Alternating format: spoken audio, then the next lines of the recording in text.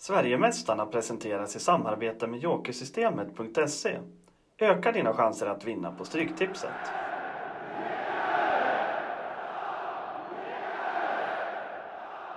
Så var det äntligen dags för ett nytt avsnitt av Sverigemästarna härifrån vår fina studio. Och med oss på Skype som vanligt, Daniel Olen Klint. Hur går det där nere?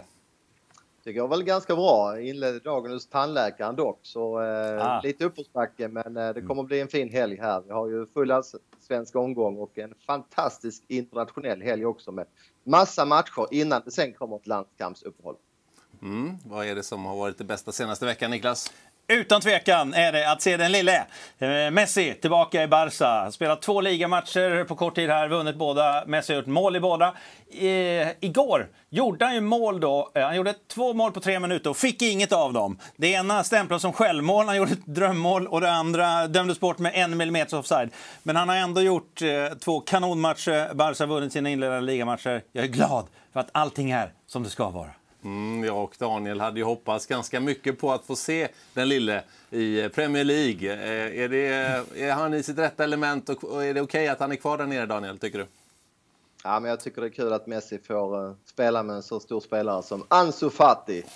Det är bara en tidsfråga innan han kliver förbi Messi i uh, prestationer. Han är ju helt otrolig, den där 17-åringen. ja, ja, jag håller med om att han är otrolig, men en tidsfråga innan han kliver förbi och blir världens största genom alla tider. Ja, Okay. Jag gillar Fatih, absolut. Ja, det säger han. Han har kanske en, en 16-17 år på sig. Jag tror inte han kommer klara det. Eller vad tror, säger du? det blir svårt. Ja, det blir svårt. Vi har en eh, omgång i Allsvenskan såklart i helgen och det börjar redan på lördag och eh, det är ett riktigt eh, en favorit, en stor favorit när Häcken tar emot Falkenberg hemma. Eh, Niklas, vad tror vi om Falkenbergs chanser att på något sätt kunna ta en poäng här? Alltså Falkenberg ligger ju nu eh, väldigt risigt till. Det är de vana att göra. De brukar ligga risigt till i Allsvenskan och på något sätt så trollar de sig kvar år efter år. Eh, nu börjar det lukta superettan om Falkenberg. Och det är ju också så, Halmstad trycker på lite underifrån, att vi skulle ha tre lag i den regionen, Halmstad, Falkenberg, Varberg, Allsvenskan. Det är ju ett för mycket, minst, kanske två för mycket. Mm. Och eh, jag tror att det börjar bli kört för Falkenberg den här gången. Det, det är nog så att de inte ska vara på den här nivån längre. Eh, dock så är det ett envist lag, man vet aldrig, de kan skrälla. Men eh, oddsen är ju kraftigt till fördel för Häcken här. Jag tror de står i strax över 1,40. Och det är ju ytterst rimligt. Det är ju topplag mot ett bottenlag och allt eh, talar för Häcken. Mm, vad säger du Daniel? Eh, det var ju senaste matchen mot Malmö där Häcken egentligen hade sin chans att hänga på. Vad betyder det att de förlorade där mot Malmö? Ja, det betyder ju att eh, den lilla fighten vi hade om ligaguldet den är ju avgjord nu. Häcken hade ju ett, eh, ska inte säga gyllene, men ett bra läge där att störa Malmö men kom ju ut med alldeles för låg intensitet och förlorade matchen klart då med 3-0. Eh, toppchans hemma mot Falkenberg såklart. Man trivs bäst på konstgräs. Ska dock skjuta in att Rasmus Lindgren där, mittbacken, han är avstängd. Mm. Redan i den andra matchen då alltså så har vi Örebro som spelar hemma mot Elfsborg. Ett Örebro som varit ganska svårt att placera. Eh, men eh, du verkar ha koll på detta. Är det möjligtvis en rek vi har på gång från dig Daniel i denna match? Nej, men jag tycker att kurvan är försiktigt positiv i Örebro. En svag start men eh, man har gått förbättrat på slutet. Man slog Sirius senast. Det var visserligen målvakten Jansson eh, man of the match men eh, jag tycker ändå att Örebro ser bättre ut nu än vad man gjorde här för några månader sedan. Och jag tror att man möter eh, Elfsborg i rätt läge här. Jesper Karlsson, 11 mål i år. Han har som bekant spelat sin sista match för Elfsborg, i alla fall den här sessionen. Han lämnar ju vid proffs i Holland. Ett jätteavbräck för Elfsborg. Eh, Elfsborg kunde inte få hål på Göteborg senare, spela 0-0. Jag tyckte man var sämre laget hemma mot Häcken också i matchen före där det också blev oavgjort. Så att, eh, nej. Elfsborg utan Karlsson ska eh, inte vara så stora favoriter som man är borta mot Örebro. Så plus en halvboll till 1,85 spelar jag. Jag vinner således även om matchen slutar oavgjort. Mm. På söndag så är det alltså sex stycken matcher som spelas. Vi kan börja med en intressant match i den mest nordliga Eh, staden i vår allsvenska. Det är alltså Östersund som tar emot AIK. Eh, AIK har gjort det väldigt bra senaste tiden Niklas. Vad har de för möjligheter att ta tre poäng här igen i Östersund? jag bedömer att de har goda möjligheter. Det är visserligen en lång resa, det är konstgräs, men nu är AIKs formkurva helt annorlunda än vad det var tidigare. Och jag vill eh, tillskriva det här AIKs action faktiskt, att man har agerat, man har bytt tränare, man har tagit in rätt så många nya spelare mitt i säsongen när krisen närmar sig har blivit bra. Den bästa av de nya i särklass är ju Mikael Lustig. Mm. Han har ju förändrat AIK. Det var länge sedan jag såg en spelare på en så perifer plats. Han är ju ändå en ytterback. Mm. Dominera på det sättet som han har gjort. Han har mm. kommit in med självförtroende, med guts och med power som är anmärkningsvärd. Dessutom förstärker AIK försvaret ytterligare inför den här gången. Man eh, skeppar iväg Karol Metz till Saudiarabien. Det ser jag som en tätning av AIKs försvar. Han gjorde ju väldigt bra i fjol ska man säga. Det är en attitydspelare. Mm. Men han har gjort en katastrofal säsong. Han var ju direkt urusel. Att man lyckas sälja honom mitt i det här är ju bingo, bingo, bingo eh, för AIK faktiskt. Eh, jag tror att AIK har en bra chans eh, mot Östersund. Fick AIK verkligen betalt för den försäljningen? ja, jag tror faktiskt att det blev några kronor där och varje krona där är ju en bonus verkligen. Mm, det blir spännande att se hur AIK ska klara sig utan denna Karol Metz. Det ska nog gå bra. Eh, vi har en annan match då, Mjällby mot Helsingborg. Mjällby som har gått blandat och gett och Helsingborg som är lite på gång eh, upp där nerifrån. Så att det är väl ett ganska spännande möte. Vad har vi att säga om den matchen, Daniel? Eh, Mjällby åkte ju på en tung förlust borta mot just AIK senast. AIK var ju det bättre laget och vann väl rättvist men med tanke på hur sent målet kom så sved det ju väldigt mycket för Mjällby. Jag håller Mjällby som ett bättre lag än Helsingborg och jag tycker man ska ha bra chans att få revansch då på den snöpliga förlusten mot AIK. Mjällby har gjort en supersäsong. Det är bara att fastslå det. Det här var en nykomling som inte så många trodde något särskilt på. Eh, de är redan klara för nästa säsong. Det kan vi utropa nu. Mjällby kommer inte åka ur. Och jag tror inte på något sätt de kommer lägga av och spela för det. Det här är ett lag med heder, power, rejäl fysik en blöt, jobbig eh, naturgräsplan som Daniel har vittnat om tidigare hur det är att spela på. Eh, jag tror verkligen inte att Helsingborg, eh, även om man är mycket mer kanske pressat och tvungna att vinna matchen, jag tror inte att man åker ner dit och, och, och vinner den här matchen. Det skulle vara förvånande. Mm. Eh, vi har sedan eh, en, ett riktigt Stockholmsderby. Det är Hammarby som tar emot Djurgården, men det är inte ta emot utan båda lagen spelar på sin hemmaplan. Eh, båda lagen står faktiskt på 32 poäng. Det är första gången på väldigt länge sedan de ligger på samma poäng. Daniel, vad tror du om eh, hur det kommer se ut i den här matchen? Ja, men det är ju ett blytungt möte här. Två lag som ju har gått under eh, förväntningarna den här säsongen. Tänkt den här matchen på ett fullsatt Tele2. Det hade varit någonting. Men eh, ja, nu är det som det är under rådande omständigheter. Jag tycker att Djurgården eh, har stora problem för tillfället. Erik Berg verkar fortfarande vara skadad. Stort avbräck i försvaret. Och Även om jag varit kritisk mot Hammarby här eh, stora delar av säsongen så håller jag dem som favoriter. Dessutom eh, finns det hopp om att Tankovic kan vara tillbaka och ja, i synnerhet om Tankovic kan spela så tror jag att Hammarby har en vettig vinstchans här mot ett för dagen väldigt svagt Djurgården. Allsvenskans guldtid är ju som Daniel säger avgjord, men det är ju massor med lag som slåss om Europaplatserna där bakom, vilket är intressant i sig. Och det här är ju två av dem. Fastän både Hammarby och Djurgården haft en svag säsong. Jag tror att båda är missnöjda med vad de har uträttat hittills. Djurgården är ju mästare och Hammarby var ju topptippat. Eh, de har inte varit i närheten av motsvarande. Eh, trots det så har båda chansen, men det här är väl ändå sista tåget. Det laget som förlorar den här matchen får nog säga just till Europa också. Eh, vilket gör att det ligger jättemycket i potten här.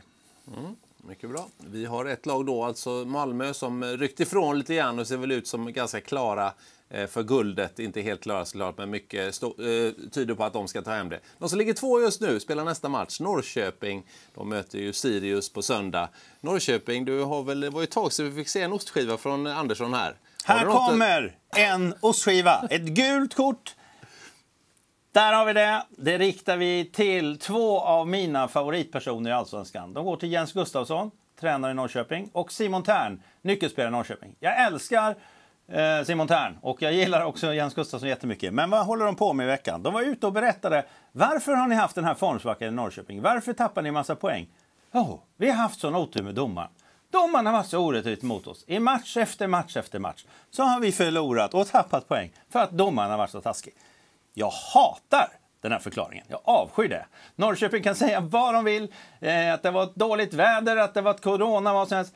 Klaga inte på domaren i efterhand för att ni har varit dåliga ett tag. Bah! Mm. Det var härligt. Det var dags för ett gult kort tycker jag. Hur kommer det gå mellan Norrköping och Sirius då? Eh, det är också en match mellan, ja. Eh, vi, vi, nämnde Hammarby-Djurgården här, att det är två lag som slåss om Europaplatser. Det är faktiskt det här också. Vem trodde det? Att Sirius skulle vara med i den eh, striden. Eh, ändå får man väl säga, om Norrköping nu inte har förskräcklig otur med domaren igen, eh, så måste man väl se dem som favoriter trots allt. Daniel, vad tror du eh, om att Norrköping då kanske har chans att rycka ifrån på en andra plats och, och skaffa lite säker mark för att ta en Europaplats? Ja, men de ska givetvis gälla som ganska klara favoriter. Även om jag fortfarande gillar vad jag ser i Sirius. Man förlorar ju visserligen mot Örebro senast, men eh, målvakten hade återigen en svag dag och eh, sen var det ju omvänt då. Jansson i Örebros mål hade ju en väldigt bra dag. Bra chans Norrköping. Ska dock skjuta in att Bergman Johannesson, han är avstängd här. Det är ju ett avbräck för lagets offensiv. En liten intressant grej till är att det är en kamp om skytteligatiteln nu. Det har varit fyra spelare egentligen som varit loss. Som väntat har det varit Kiese Thelin och Totte Nyman. Sen har vi då haft Jesper Karlsson och så är det Vecchia. Det är de fyra som slåss om att bli skyttekungar i, mm. i Allsvenskan. Nu är Jesper Karlsson borta. Eh, kvar är tre stycken. Det är de favoriterna får man väl säga. Kiese Thelin och Nyman. Och så är det ju då Vecchia. Eh, Stefano Vecchia som eh, finns i Sirius. Så det är två riktigt eh, målfarliga S här och jag tror väl att Nyman trots allt är den som kommer att sno åt sig skytteligatiteln i slutändan. Men Vecchia har chansen och det vore ju väldigt roligt. Han vore ju en skräll onekligen om det skulle gå så långt. Vi har sedan då de kommande, kanske guldfavoriterna framför allt i Malmö som åker till Guldfågeln Arena och kanske får svårt där. Vi kan väl börja med dig Daniel. Kalmar FF tar alltså emot Malmö FF. Eh, finns det någonting som tyder på att Malmö inte tar tre poäng? Nej, väldigt lite tycker jag. Det enda jag kan argumentera för är att Malmö då dubbeljobbar.